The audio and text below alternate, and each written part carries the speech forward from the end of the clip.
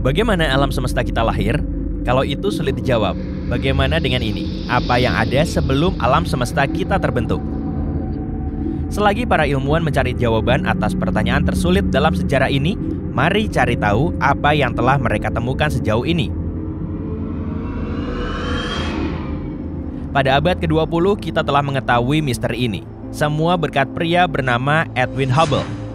Suatu hari di Gunung Wilson, California Selatan, dia mengarahkan teleskopnya ke langit dan menemukan bahwa awan gas acak yang berterbangan di mana-mana ini sebenarnya adalah galaksi lain. Dan jumlahnya banyak sekali. Selain itu, dia mengetahui hal lain, hal yang mengubah dunia selamanya, bahwa galaksi itu bergerak. Terus kenapa? Tanyamu. Yap, hal ini sangat penting. Alam semesta meluas. Dan jika meluas, berarti alam semesta mungkin punya titik awal di suatu tempat kan? Nah, yang harus kita lakukan cuma memundurkan waktu dan melihat di mana titik awalnya. Para ilmuwan butuh waktu bertahun-tahun lagi untuk menghasilkan teori yang lengkap, teori Big Bang, dan begini teorinya. Gak ada yang pernah berada di mana pun karena kapan atau di mana belum ada, paham gak? Tapi sebenarnya nggak gitu. Ada satu hal, hal itu disebut singularitas kosmik. Keadaan alam semesta yang sangat kecil, padat, dan amat sangat panas Bayangkan alam semesta kita dikompresi menjadi bola kecil. Tekanan dan suhu di dalamnya akan sangat besar. Pada titik tertentu, bola ini tak akan bisa menahannya dan terjadilah Big Bang. Itu adalah ledakan energi dan materi yang menciptakan semua yang kita lihat sekarang. Ruang dan waktu serta kekuatan fisik dasar. Ledakan ini juga menyebarkan quark ke mana-mana. Quark, partikel kecil yang membentuk dunia kita, semuanya mendidih dalam kaldu kosmik super panas. Saat mendingin, gravitasi mulai menariknya satu sama lain. Mereka berkumpul menjadi atom, lalu molekul, kemudian menjadi objek pertama di dunia, yaitu bintang. Dan semua ini terjadi sekitar 12 sampai 14 miliar tahun lalu. Oke, sekarang kita tahu bagaimana alam semesta terbentuk. Tapi apa yang ada sebelum itu? Alan Harvey Guth Fisikawan teoretis dan ahli kosmologi Amerika telah mengabdikan seluruh hidupnya untuk memecahkan misteri ini. Setelah mempelajari teori Big Bang, Guth menemukan beberapa kekurangan di dalamnya. Misalnya, distribusi materinya sangat merata meski seharusnya tidak. Mari coba gantung balon berisi cat ke langit-langit dan letakkan kanvas putih di lantai. Kalau kita menjatuhkan balonnya, balon itu akan pecah dan noda cat di kanvas pasti sangat kacau. Sekelompok bintik tersebar ke mana-mana secara acak, gak ada yang sama. Tapi, alam semesta awal gak kayak gitu.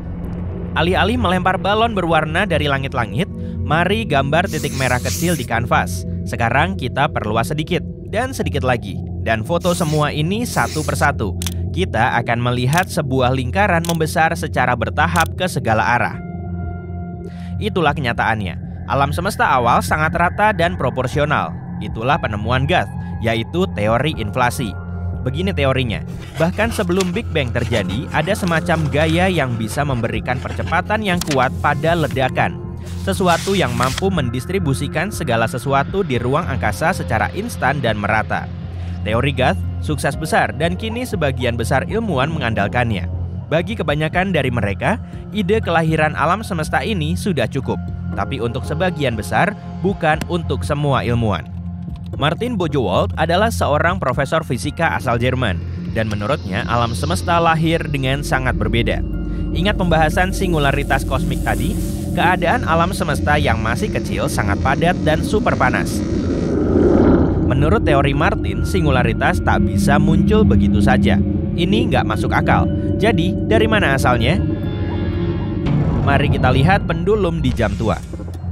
Pendulum berputar bolak-balik, gerakannya halus, terus-menerus, dan tanpa henti. Beginilah cara kita melihat waktu. Waktu mengalir dan tak pernah berhenti. Tapi, waktu kuantum. Nah, cara kerja waktu kuantum nggak kayak gitu. Waktu kuantum lebih mirip jarum detik jam yang terdiri dari segmen kecil dan membuat jeda singkat.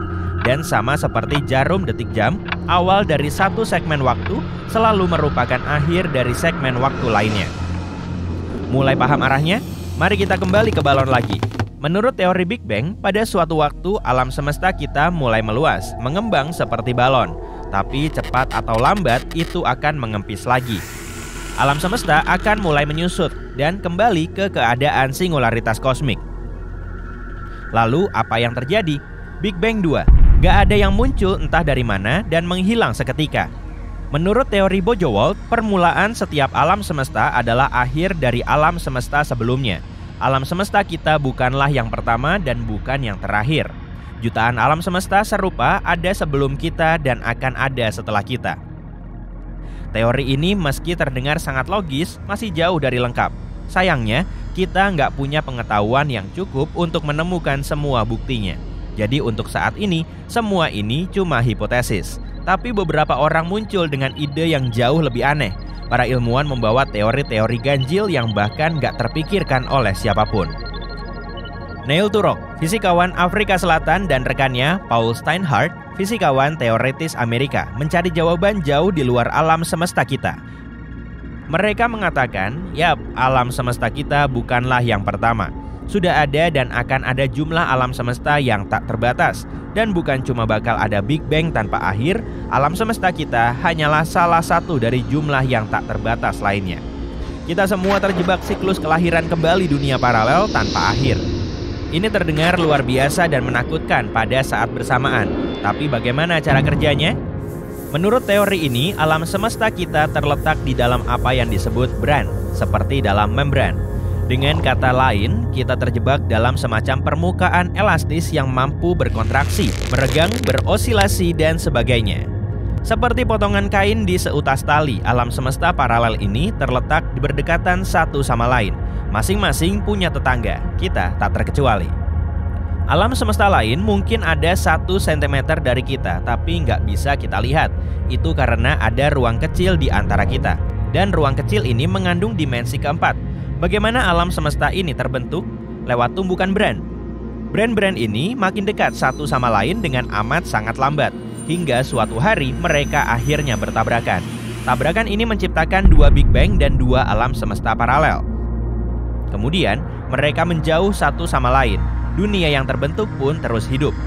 Saat ini kita berada di tahap ini, tapi saat mereka menghilang, brand itu bertabrakan lagi, dan ini akan mengarah pada lahirnya alam semesta baru. Ingat teori inflasi tadi? Ada energi misterius yang mendorong dan mempercepat Big Bang. Nah, jika kita memang bertabrakan dengan alam semesta lain, itu akan menjelaskan semuanya. Semua yang dijelaskan barusan tentu cuma penyederhanaan.